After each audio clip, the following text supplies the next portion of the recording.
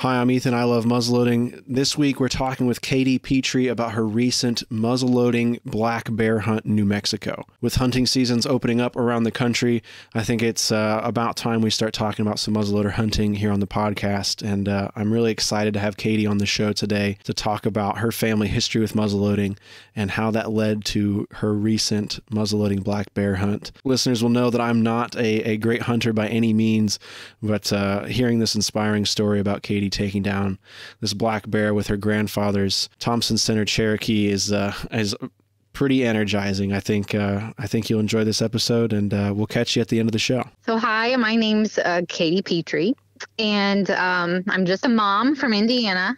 Um, I got into muzzleloading through my grandfather. Um, when I was a young kid, I um, loved to follow him around and I begged him to let me go hunting with him. So he was my inspiration into all things outdoors. I recently was very, very blessed and able to honor his memory by taking my first black bear with a traditional cap and ball muzzleloader that he gave me about 15 years ago. Um, he passed away two years ago, and since then I've been um, hunting almost exclusively with uh, with that muzzleloader. So this was a very special hunt for me. As a kid, I was just a scrawny little kid, and I saw my grandpa taking my two older um, boy cousins hunting, and um, I begged him to take me. And, and he said, you know, oh, you're too little. You'll get cold. You won't like it. And so finally, he was like, all right, you know, I'm gonna have you shoot my 410, and you're not gonna like it. It'll kick, and you won't like but I'm going to let you do it anyway because you keep asking me. And so he let me shoot it, and um, I shot all the cans down that he'd set up for me, and he got just an absolute kick out of that. And I know I'll never forget him just laughing and bragging on me. And I was very, very young. I can't remember how old I was, but I was so proud of myself and just that whole experience that Grandpa was so proud and that I loved it um, yeah. was kind of like the first thing that just got me just passionate about it. So of course after that, he let me tag along and taught me how to shoot a 22 and you know use a scope to hunt squirrels. And mm-hmm. um, from then on out shotguns he was with me when i killed my first deer. I think i was 14 and uh, used his used his uh, winchester uh, 20 gauge shotgun. And he was just happy as could be. He just was thrilled. And all, it was just a, a yearling doe and he thought that was like the biggest buck in the county. You know, he just thought that was everything. Uh huh. Wow. So yeah, it was a really interesting, a really fulfilling relationship between me and my grandpa. Um, I wasn't the only grandkid. I wasn't the only girl, but we had a very special bond over um, anything to do with the outdoors. That's just wonderful. That um, I mean, you were a persistent little kid, you know, sticking after it, and then you know oh, yeah. he he embraced that and, and helped foster that. That's so great. I love hearing oh, that. Definitely. I mean, a lot of adults. I mean, I'm a mom of three daughters, and you know, it's easy as an adult to say that's too dangerous. You're too young. Mm-hmm. Um, that's too hard. You can't do it you know, ask me another time. But he took the time to teach. And that looking back was just a really wonderful like thing for him to do. Yeah. If it wasn't for that, I wouldn't be as I mean, I wouldn't have this passion that I have now for for the outdoors, and I wouldn't be teaching my kids the same stuff that he taught me when I was little. That's great. That's great. You're already passing it down. Yeah, I'm already passing it down, carrying the torch. Yeah. So yeah, he um he passes a muzzleloader down to me. It's a Thompson Center Cherokee. Uh, it's a 45 caliber, and I've got a 32 caliber barrel that I can put on there too. Um, he gave it to me. I was 19, and I was over. You know, I lived with my mom and dad. I was in college at Purdue, and um, he just showed up at the house one day when I was home from college, and he had it in his hand, and he had a grocery sack full of bullets and powder and patches and mm-hmm. all kinds of stuff, and he said, "Hey, um, I'm giving you this gun. This is yours now. And I was absolutely floored. I just was like, uh, okay, why? He said, because I want you to have it.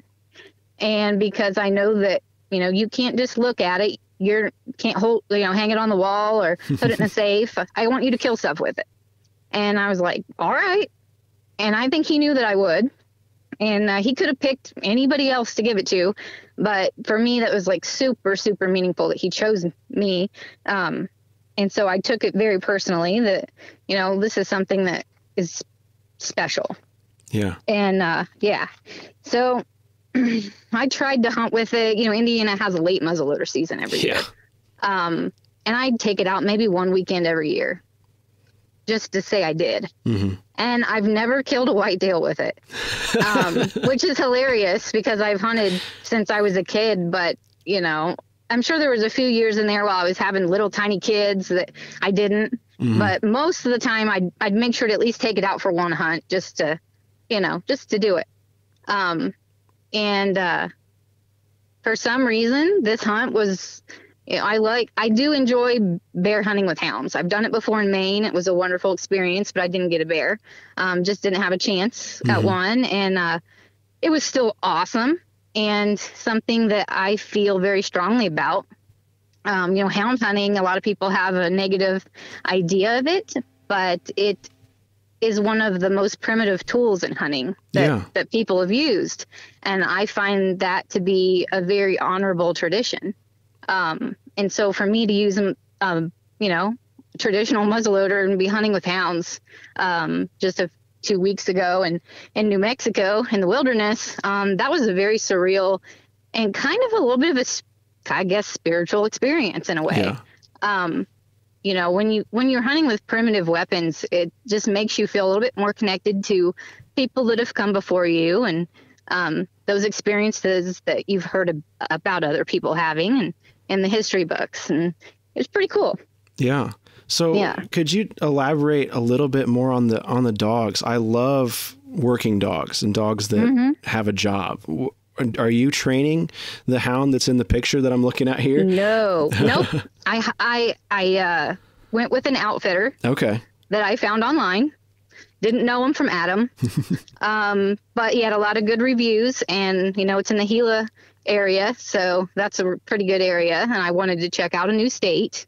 I've been the last handful of years trying to hunt in a different state every year. Okay. Cool. Um, so yeah, so um, found them online, um, Gila and Apache Outfitters um, out of Reserve, New Mexico, and they were great people. The houndsman that works for the outfitter, he is a 21 year old young houndsman. Um, and I, you know, of course, was a little surprised that he was so young when I first got there. And they're like, yep, she's going with you. Um, but it worked out great. And uh, his dogs were his own. And he's been hound a houndsman for about four and a half years he said. And it was it was awesome. It was really awesome. Um you know we talked and talked about you know how he trains his hounds and this and that. And um he's his name is josh sanchez and he was just a really really good guide. And of course he commented on how sometimes since he's young clients kind of underestimate him Mm. you know? And i'm like well you know as a woman i get underestimated all my life. So Yeah. uh, so i you know obviously i show up there and i have uh I, I kind of i didn't lie but i omitted the truth about my gun to my to the outfitter. So i sent him a text and i said oh hey by the way is it all right if i bring a muzzleloader? And he said sure you know? Um, but obviously he wasn't thinking about uh, you know a thompson center cherokee uh, with the 45 caliber uh, lead conical you know. He wasn't thinking i was gonna and- yeah pour my own powder down the barrel or any crap like that right? So um gosh so i'm this you know this this mom of three just showing up alone in new mexico to hunt bears with this gun and i'm sure i was a sight. Um, but on the very first day uh, we went out and me and just me and the guide and his hounds and we got on a pretty fresh track and we released the hounds on the first track they they caught up with that bear within about three miles and treated it pretty quick but it was in a really hairy um, canyon Hmm. uh, very very steep and in indiana you know how it is we're both hoosiers Yep. and so uh, when you see something that steep, that you don't walk on that, right? Yeah. In Indiana, that, that's not you don't do that. You find another way around. Yeah. But this is just we're we're going straight down to the very bottom where the creek is from the top of the mountain, and that's where the big tree is that the bears climbed up, right? So I'm like, uh, okay, if he can do it, I can do it. So we made it down there without anybody tumbling down the mountain, and um, walked up to the tree, and it was a very um, surreal experience. Uh, have it on video for a lot of it. Oh wow. Um, just cell phone, you know, Mhm. just kind of very amateur. But um, walked around, looked up the tree, and I was thinking to myself, you know, like, you know, kind of pa- took a pause. Like, is is this the bear that I want? Right. So first Mhm. day, first first track, and I took a look at it, and I thought, yeah, I think think this feels everything feels right. So of course this bear's the guide's like, you know, this is the farthest I've ever seen a bear go up a tree. It's pretty far. and it's on it's on a great big limb, smashed itself down, you know, laying on its belly on this big limb and I could barely look. And I'm like, that's not a shot I can take. And um so he's he's looking through his rangefinder and he we find a good spot. I'm standing in a creek um to get the best shot that I can get. And he's like 60 yards. And I told him, you know, 50 yards is about my max hmm um, that I'm comfortable with. And I said, that'll do if I can get a better shot. And he's like, okay, let me go. He took a stick and he's like, sometimes you knock on the tree, the bear will move around to see what you're doing and you get a better shot. So he goes up there. He's got the hounds all tied back and everything. And Mhm. um, he knocks on the tree a couple times with this big stick and the bear kind of stands up, you know, sits up and it leans out over the tree and it's looking me right in the face. And I've got a perfect shot of its chest. And he's like, if you've got a good shot, go ahead and take it. And so, you know, I pull the set trigger and he's he's got his camera out trying to video for me. well, he didn't know about my gun. He didn't know that it had two triggers, right? Right. So when he hears the click of the set trigger, he kind of fumbles his phone because he thinks that it's a misfire. and then when he hears that huge boom, he was really startled and he almost dropped it. But right at the last minute, he he gets it pointed straight, and you see the bear hit the ground. Hmm. And m like I look like the biggest dork because he pans to me, and I'm going, "Holy," you know. and um, I'm I just look like an absolute dork, and I don't care at all because it was the coolest thing ever Yeah. and um, one shot and it didn't stand up again. And I was like, holy junk, I just did it. Wow. Holy moly, I drove 24 hours from Indiana to New Mexico, this old gun with nobody knowing. And uh, I know my parents are probably worried out of their minds. And I just did it. Holy mackerel. Um, it was awesome. And I thought I'd cry because it was very, very meaningful to me. Yeah. But I didn't in the moment. I didn't cry. It was too much fun. that too much fun to adrenaline cry. probably pumping. Oh yeah, but you know, I thought I'd be shaking like a leaf pulling those two triggers because I Mhm. know that gun. The gun kicks like a mule, um, obviously. Uh, just nature of muzzleloaders sometimes, and um, I knew it was. I have like, you know, the way I hold it against my cheekbone always gives me a bruise on my face when I Oh. shoot it, and so I'm anticipating pain, right? Hmm. And my adrenaline's pumping, and I'm like talking to myself in my head, like, "Don't you freaking flinch! Don't you even do it! You're not coming this far to miss." And I didn't. it didn't miss. That's awesome. Not even close. Yeah, I've got a picture, which I'm not. I haven't posted on social media or anything. 'cause people are sensitive about that kind of content, I guess. But yeah. I wanted to take a picture of just you know the entry and everything because people. I mean, I had some acquaintances talk trash to me over the years about that gun. You know, they can't Mhm. kill a deer. You you like is that even an accurate gun? That'll blow up in your hands. You know, people Yeah. said all kinds of stuff like you can't kill a deer with that That and drives uh, it's nuts. too old. It'll fall apart. Like that's not even reliable. And I'm like, all right, tell me I can't do it. I'm gonna do it and prove you wrong. so there's a lot of people um, eating crow over that gun oh, good. this week. So That's what we like to good, hear. right? Good. we all like to hear that. And so, uh, yeah, I, I I loaded it with um, 70 grains of Pyrodex, and I had a lead conical, like a Great Plains style Mhm. um, bullet, 285 grains, and uh, I lube it with Crisco, Okay. and uh, yeah, that did the job. I got it And- done. Yeah, and a lot of people, you know, they don't shoot muzzleloaders like that, right? Um, Mhm. scares it scares people to see pouring loose gunpowder down a barrel, hmm you know. Um, so, you know, I feel like it's just now sinking into me, like how big of a deal it looks like from the outside of a a woman by herself going out and, and doing that. Yeah. And With a big old Hawken. yeah, So pretty cool. so what did the what did the outfitters think? What did the guide think? Oh, you know, when you it was great. it back. The guide, the the guy, the guide I was with, the houndsman man, he just he he laughed. He's like, "Good shot," um, you know, and it was funny. And we, you know, we skin quartered it, packed it out on our backs, back up that mountain, which was worth every terrible, terrible I was gonna say that's that sounds pretty hefty. yeah, it was it was a rough one. It, and but you know, people say that hunting with hounds is so easy, right? Mm. And it's just like shooting fish in a barrel. They've never hunted with hounds. They've never bear hunted with hounds, especially. And um, you know, I know h- how it is. I know the truth of it, but it's so difficult to explain to someone who doesn't doesn't understand um, Yeah. hound hunting, like how it is actual. It is a free chase hunt, in my opinion. Um, that it is a primitive method, and it's absolutely um, something that we need to protect and preserve yeah. for future generations. But anyway, we get back to the um, we get back to the lodge, and you know the the outfitter and the other guides and the cook and everybody um, they'd seen my gun that morning. You know when we all got up to go out in the field early, and uh, that's the first time they all kind of were like, "Oh, she's taking that old thing." And I was out of five hunters on the first day. I was the only one that was successful so far. There we go. So I, the chick with the old gun, Yep. brought back the bear.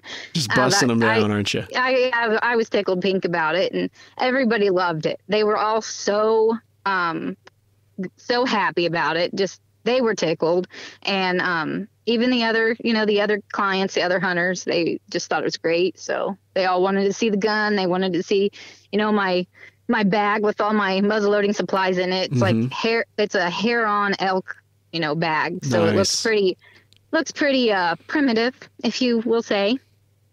So they all they all got a kick out of it, and then when I showed them I was using a Ziploc baggie with Crisco in it, um, they thought that was pretty, you know, funny too. Um, but yeah, they they were very excited, and they especially loved that it was a gun that was given to me to pass down, and uh, Yeah. Really cool experience. And everybody there was great.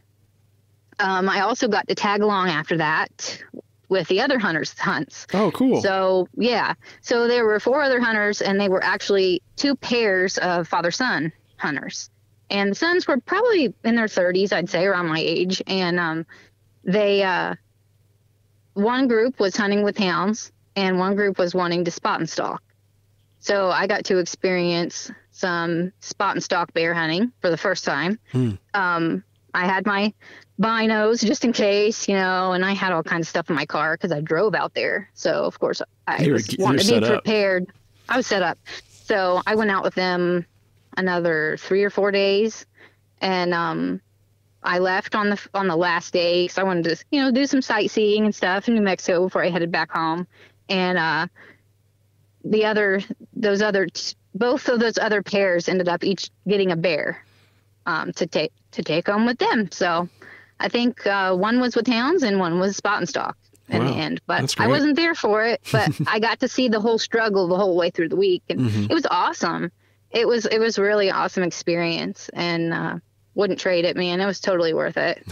Worth the 24 hour drive there and back.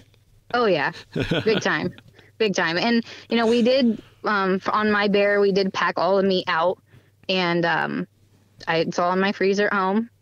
Uh, left the hide to uh, have a rug made at their taxidermist in New Mexico. Oh, So- cool. Oh yeah, my kids are so excited. They've Uh, already got a spot picked out on the wall to hang it. I was going to ask what, what your kids thought of that. Oh yeah, they just you know they they think they have the coolest mom in the world. Oh, yeah. and um, you know, no no dispute. And they like to tell everybody that asks anything about it the story. yeah.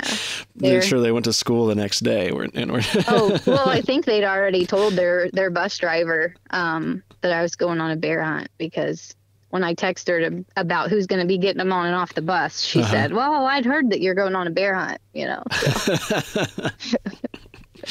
That's so cool. I love that. And it, I mean, Yeah. just everything about it's just great. I just love it was that. awesome. So, It was awesome.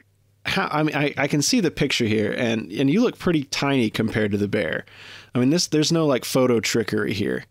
This that's No, that, that's I'm, the bear. I'm not very big. I mean, I'm five four. I'm about 120 pounds, and um, that's how much bigger the bear was. We obviously didn't weigh it.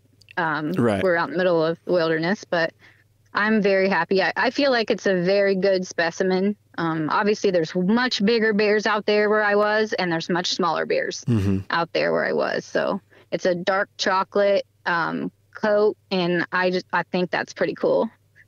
Um, when I hunted in Maine before, you know, out east there's no color phase black bears, Okay. so um, I didn't that didn't even cross my mind when I was hunting bears out there. But you know, going west, um, black bear black colored black bears are actually a little more rare to see than the other colors are altogether. So.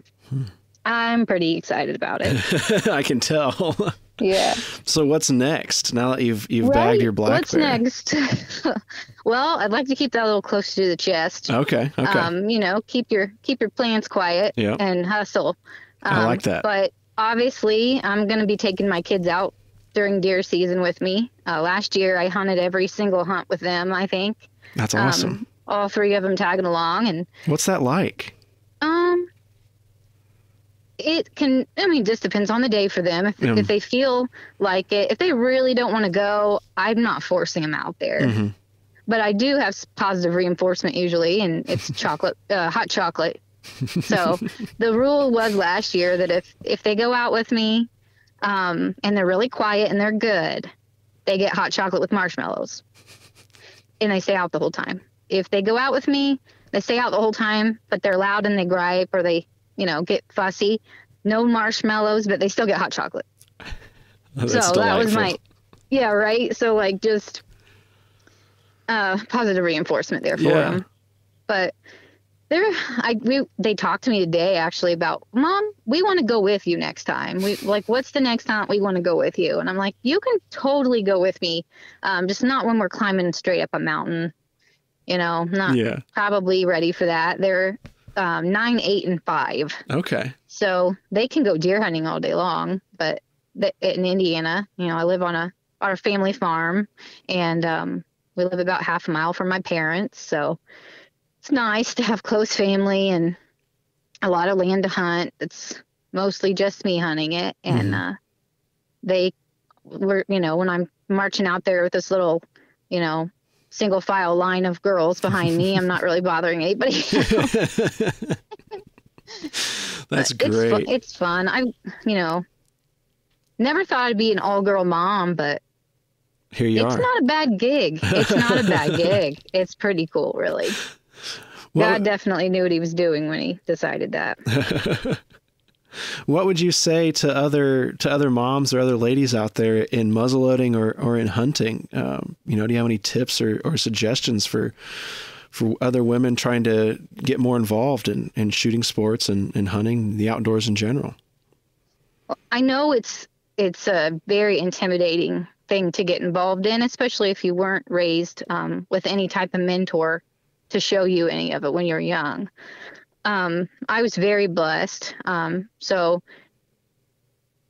sometimes um, women don't even try just because of how intimidating it is. Mm. Uh, what I would recommend is number one, you can do any of it and all of it. You can do anything that that a guy can do when it comes to hunting. Um, and uh, don't be intimidated. Get in with, you know, there's a lot of Facebook groups and even on Instagram, there's some communities that are all women hunters. Um, where especially some of those Facebook groups, that men aren't allowed in the group. It's a private group. So you won't feel so intimidated, hopefully. So when you're asking questions and you're looking for advice um, and you're learning things, it's all women um, supporting each other, being so super positive, and it's a really, really good thing. Um, so get involved with some of that stuff. Take hunter's education. Um, if there's a specific um, method of take, like muzzleloading or something like that, you know, join the NMLRA. Um, go to some, you know, shoots and watch and observe for a while, and uh, eventually you'll be able to um, find some type of like group activities, kind of like a, I don't want to name names, but there some of Mhm. those women organizations will have duck hunts just for women. Okay. yeah. Um, and they'll have deer hunts just for women, fishing trips just for women, so you can get experience outside. And then maybe you could start venturing off on on your own, public land or private land or whatever. But um, my advice number one is just start somewhere. Um, don't be afraid to ask for help, because even men start at scratch, right? Oh, Like yeah. even men start off not knowing. So don't be intimidated more just because you're a woman, because um, you know I've re- received a lot of uh, um, advice um, from um, strange men on the internet, right? Oh, no. Over the years, Oh. and um, you know, one or two sentences in, you can tell they have no idea what they're talking about. Mhm. So you just smile and nod, smile and nod, and ignore them. Um, you know, I'm, I may not look like it, but it's like uh, deep down, I'm just kind of like a little old man, you know, like one of those little old men you see at like friendship shoot, right? Yep. I'm just kind of like the same type of hobbies and interests. Yep. Um, you just don't see it from the outside, so uh, don't don't be intimidated by any stranger on the internet telling you that you don't know what you're talking about because just like any other topic on uh, social media, there's always going to be people putting their foot in their mouth. Yeah. It's always easier to talk than it is Oh to, yeah, they just want out and attention, and yeah. they, would you know, the funny thing is like they'd never say that to your face, Right. right? Yeah. So People make a lot of uh, a lot of assumptions on that.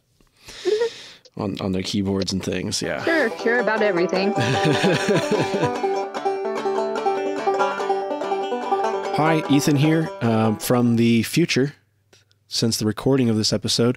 But I wanted to tell you, uh, kind of with this podcast, we're launching the uh, I Love Muzzleloader hunting hat giveaway.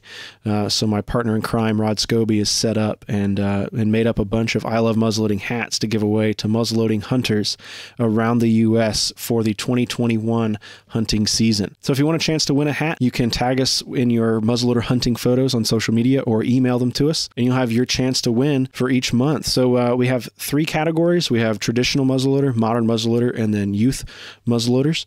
Uh, so you can submit in any of those three categories uh, each month: October, November, December, and January. And uh, we'll pick a winner in each category at the end of the month, and uh, we'll mail you a hat free of charge. You know, no cost. You know, no cost to you. It's a it's a free hat. You know, who can argue with that? This podcast is brought to you by Thor Bullets. Thor Bullets are a premium full bore muzzleloader bullet designed specifically for modern inline rifles. Thor bullets do not require plastic sabots or belts to be fired, meaning less cleaning for you between shots. The patented copper base creates an airtight seal, giving you greater distance and accuracy.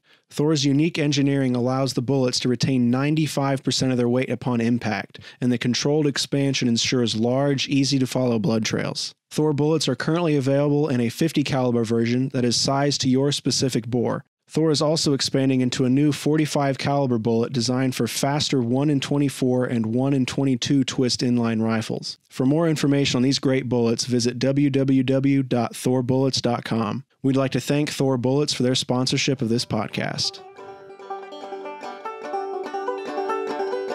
I don't know that I'd ever have the gumption to go hunt a bear, but seeing this, that's just, and hearing the story is just so cool. Oh, it was. I'm still just like pumped about it. Like I smiled to myself, re- rethinking and like remembering the whole thing. I'm just like, like you know. And I think I've always been the type of girl ever since I was a little kid, whether it had to do with sports or anything else, that you know I can do whatever anybody else can do. mm-hmm. And uh, you tell me I can't, and I'm gonna do it anyway. And um, yeah, and you know another thing that I'm really passionate about is um, you know women and getting women and children involved. And um, Yeah, how can we, you know, how can our listeners and, and myself included, how can we do a better job at, at you know, making the sport and the hobby more open and, and get more people involved from your perspective? I would say um, having family events um, that people in the local communities can come to and learn safety or um, you know learn about shooting a bow or you know they have the women in the outdoors events right?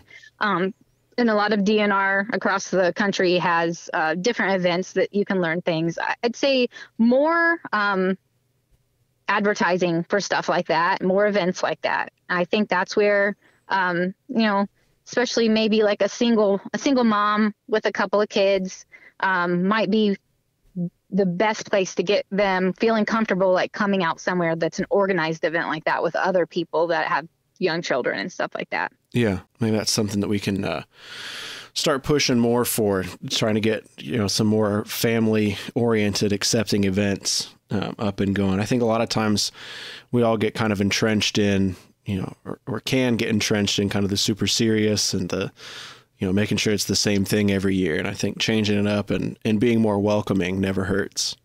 Yeah, and sometimes you know in our different organizations we think we are being welcoming and mm-hmm. we think we are op- opening it up to the public, but sometimes, you know, just that the knowledge isn't out there that that's available or the way that we are requesting, you know, the the first time hunters to come in, it's it's not look this looks super scary.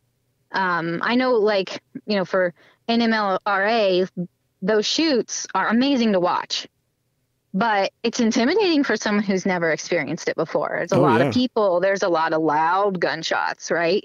Um, a lot of, you know, people dressed in the period clothes, which is so much fun. Um, but if it's your first time, I remember my first time was I was was probably like 15 years ago, and I showed up to a spring shoot um, for, at friendship and I was like, what the heck is this? But in my next breath, I was like, this is awesome. Yeah. Right? Yep. Like, whoa, this is cool.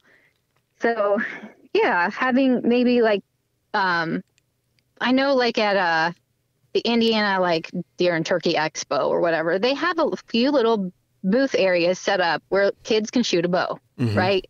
It's pretty much a toy bow, but kids can shoot a bow. Kids can get in line and kids could experience something. And I think um, that is where you start is with the kids. Yeah.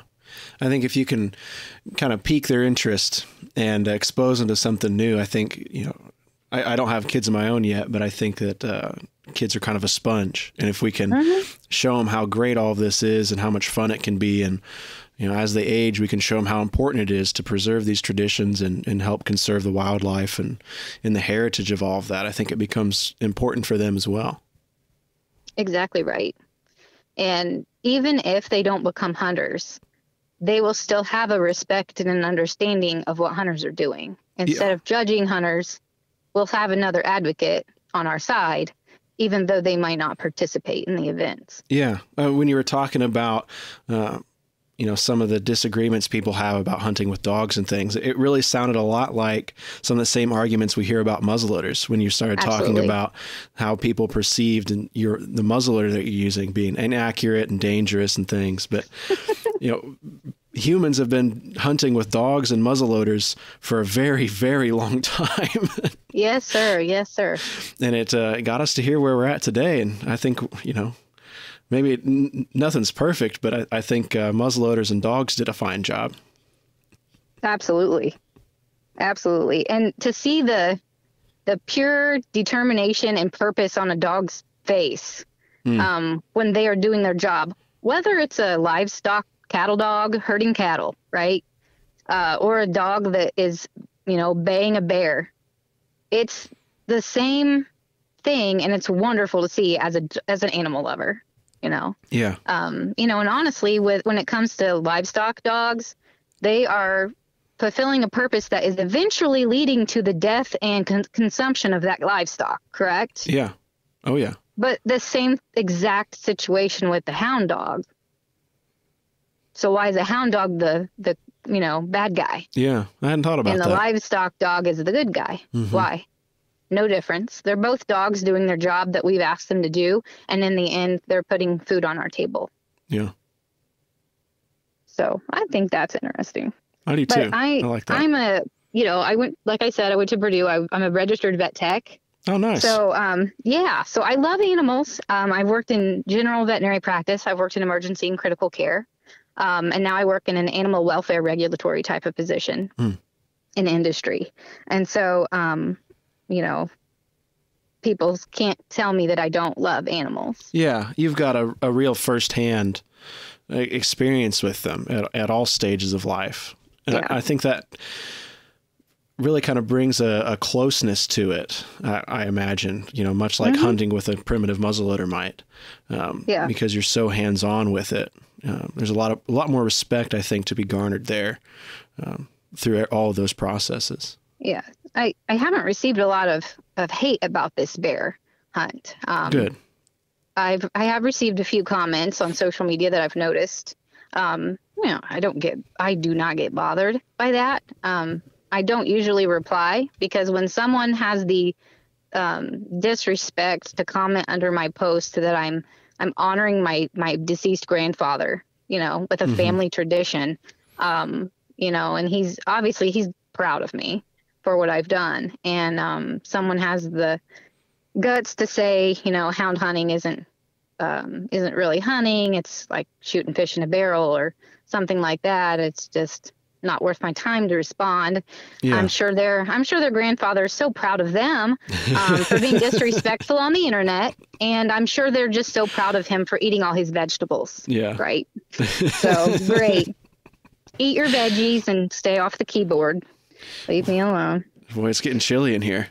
it could be it could be so much worse, but oh yeah, you know, in those situations, they're they just want to for some reason they want to try to hurt somebody's feelings. It's not going to be me. Yeah, well, I think you've you know you've shown i think i don't know how anybody could look at that picture and not see the the perseverance in in all aspects of what you've done there i think it's just a, a great story and i really appreciate you sharing it with me i just it's just a neat story, and I, I just I love hearing it.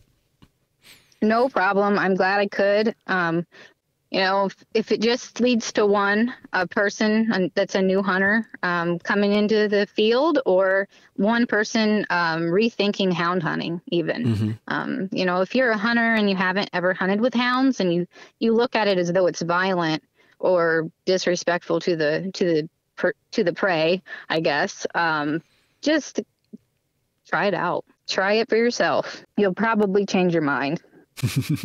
I like I like changing minds, whether it's about uh, dogs or hunting or muzzleloaders. I think that's it's good for people to be more more open about these things. Oh yes, definitely, definitely. And I know, um, you know, you don't see a lot of people hunting with muzzleloaders at all. And whenever I see someone hunting with a muzzleloader, of course, I'm going to follow that person on social media. Um, I'm going to root for them. Um, it's kind of, you know, a thing about being the underdog is when you defeat the giant, it's a it's a way bigger deal. Yeah, for sure. I kind of had that feeling this past week. Yeah, I'd say you took down a giant looking at this. uh, as we kind of, I, I, think, kind of wind down here, I try to give the guests uh, um, you know a couple minutes or, or, however long you want to talk about something you know that you want to promote whether that's a you know a social media handle or a website or a, a cause that folks know you know where to find you if you want them to find you. If you don't i totally understand. Um, or you know to direct people to a, a cause that you're passionate about. I, will put uh, any links that you talk about in the show notes so that people can find stuff pretty easily. Sure. Um, you know, definitely check out, you know, if you're into traditional muzzleloader, um, stuff at all. Um, the NMLRA, um, I'm a member and uh, super interesting. Uh, if you've never been to a shoot, um, if you've never been to a rendezvous, uh, check those out. It's it's something that would be like super super interesting. It's very educational. People are really welcoming, um, and it's really a fun time. Um, I mean, if you want to see pictures of my bear hunt uh, and my kids doing stuff like fishing and goofing off, um, different hunts I go on, just normal life. I'm not an influencer by any means. I never will be. Um, but I do have an Instagram that people can look at. It's at Katie K A T I E underscore RVT. It's just my personal page. It's the only one I have, and um, welcome to get on there. I mostly only post hunting stuff because that's kind of what I use Instagram for. Mm-hmm. Um, because I just that's my that's really my hobby is just outdoor stuff and Instagram on on Instagram. Um, and then just get get involved with um, a hunting um, advoc- advocacy organization, um, whichever one you choose, as long as it's pro hunting. Uh, remember to support other hunters. Um, I know people have discussion over that, but basically, whatever legal um, method of take is, uh, please support that. Whether you want to participate in that actual method of take or weapon or species, um, remember that you know hunting has is very um, susceptible of dying the death of a thousand cuts. Right? Mhm. Just start whittling away uh, those anti-hunting groups at um, you know, baiting or hound hunting or or different weapons, you know, and saying that they're unethical or inaccurate or whatever. Um, and as they start getting these tiny, winning these tiny battles, they're getting closer to winning the war. And I'd hate to see us like Europe um, or other countries that just Yeah. barely have any rights. And it's ridiculous how many rights we've already given up in this country. And we all can see what's, you know, what it looks like right now out there in society. And this, it's all the political things, right? Yeah. That's going on right now. Um, please be a supporter, whether you're talking to your neighbor, your friend, or if you're getting involved um, with an organization or speaking out online or a podcast or something like that. Um, make sure that you're doing your part, uh, whether it's donating or, or just um, participating. I think that's That's all I uh, thought. I think that's great. It's very admirable. I love it. Oh, and also Yeah. one little one little side note. Um, you know, as a like I said, a veterinary technician, an animal lover, and a hunter, and a farm kid. Um, you know, there's there's a lot of commercials on TV uh, advocating for the Humane Society of the United States. Um, in no way, shape, or form, giving money to them uh, is helping any of those animals on those commercials. Um, it's really not. Uh, mostly, what the Humane Society of the United States is doing um, is going after um, anybody that's a hunter, um, farming. Um, they're they're there to pretty much um, make animals have their own rights and not be um, managed by humans. And I believe that we created by our creator who gave us dominion over the animals. And it's our responsibility to take care of them. And that's what animal welfare is about. Mhm. But animal rights um, is a total off the wall bonkers idea. Um, so, you know, if you want to donate money to animal shelters and things like that, donate to a local one that is not Mhm. associated with the Humane Society of the United States. That's I think that's a cause I can get behind for sure. I will say, you know, posting posting on any of the muzzleloading uh, pages on Facebook and stuff like that about my bear hunt, people were very, very, very um, supportive, and it was great to see it. Great Good. to see it. Um, I know it was funny. I I'd ran into a couple that that was um, running the Rand House there, Friendship, like Mhm. just a few weekends ago on, Yeah. at the fall shoot. yeah, uh, the Schlegels. Yes, I saw both of them there, and it's the first time I'd ever met them. And they were so sweet. They let me. They were closing up. They let me come in, and um, they also, you know, talked to me when I was leaving about, oh, you know, don't forget your gun. You know, just talking. And I said, oh, definitely won't. I'm gonna hunt a bear with it next week. Hopefully, I'll get get a bear. My grandfather, you know, gave me this rifle, and I'm really excited to go out there in New Mexico. And they just both kind of looked at me for a split second, like, huh? and uh, they're like, "Oh well, yeah, good luck. That'll be great," you know. And when I posted on the the NMLRA discussion Facebook group, they saw my post, and they Oh. both were like, "Oh my gosh, we talked to you at the Rand House, and how great! You're amazing. You did it. You know, your grandfather would be so proud." And it's just, you know, that was so heartwarming to see the muzzleloading community is is really a, a close knit and a really supportive community. Yes, they are. Yeah, I, I think you'd be hard pressed to find a better one out there. Hmm Well, is there anything else you'd like to talk about? I don't. I kind of try to make each episode kind of a platform for the guests. So if there's anything else you want to talk about, or if or if you're you know fine to wrap it up, we can uh, we can close it out here, and I'll let you get back to your girls. Um, no, I think if you know, we've pretty much it. Unless you have any more questions for me, I could talk about just about anything. I think. So if you if you don't mind me asking, how did you um, hear about or find the NMLRA down there? Um, when I was so I'm a Hoosier, so Mhm. um, I didn't really at first when I heard about like just the friendship rendezvous, right? That's what people refer to it as. The first time I went, I was a teenager, and just heard that it was something cool to go see, and you know had to do with hunting and and people were reenacting and stuff. I was like, oh, that'd be awesome. Um, went down there and saw it and realized that it was only muzzleloaders and I had already, you know, received my muzzleloader from my grandfather, and he taught me how to shoot it and everything like that. So it was kind of natural thing for me to be like, oh yeah, this is something I could really get into. And uh, you know, I know I know other people, little you know, local people that hunt with a muzzleloader or have muzzleloaders, and so it was always something that I find a couple people like minded and and go down there and check it out, and started there. Luckily, we have the headquarters, you know, in Indiana. Yeah, yeah, that helps. yes, it does. Yeah, yeah, it's nice to have that hub, you know, just a few mm-hmm. hours away. For sure. Well, cool. I always try to it's, I don't know. It's not necessarily research, but I'm always trying to figure out how people get into muzzleloading to try to reverse engineer it so we can get more people involved with it and uh, and yes. keep growing it. So I appreciate yes. you, you sharing that. I think if people could see a lot of the shoots and pictures of what's all going on during the fall and spring shoots on social media a lot more than we do, mm-hmm. um, that would be really beneficial. Yeah, hopefully, uh, hopefully, maybe somebody from there will hear this and uh, and and hear a smart young lady talking about it and uh, and run with it maybe. Sure. Hopefully.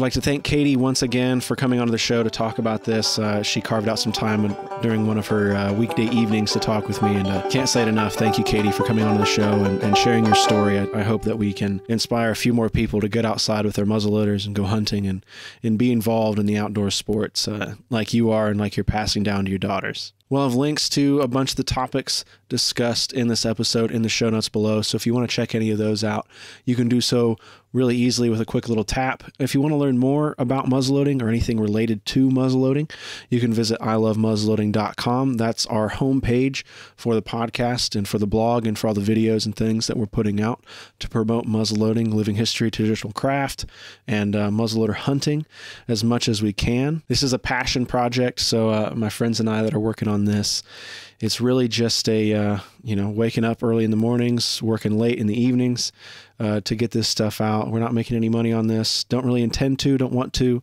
It's just about preserving history and passing along these great traditions of uh, of our contemporary muzzleloading enthusiasts, so that we can save these stories for future generations. We have more information about this uh, giveaway that we're trying out at ilovemuzzleloading.com slash hunting. You can uh, you can see it there and uh, learn more. There's some particulars, you know, if you're concerned about your own privacy or anything, or don't want us to show your face or name online, totally understand. Uh, more than willing to blur that out and uh, and censor any information that you don't want out there. Uh, totally respecting of your privacy. Um, if you want to submit a story with your with your photo or anything, or if you want to talk on the podcast like Katie is today please don't hesitate to reach out and ask. I'd love to hear some of your stories and uh, and share them with the muzzleloading enthusiasts out there, so we can keep these great traditions going. So, if you're interested in that, you know, it's a, a free hat, chance to win a free hat and uh, you know no cost to you tag us or email us your photos at i love ilovemuzzleloading at gmail.com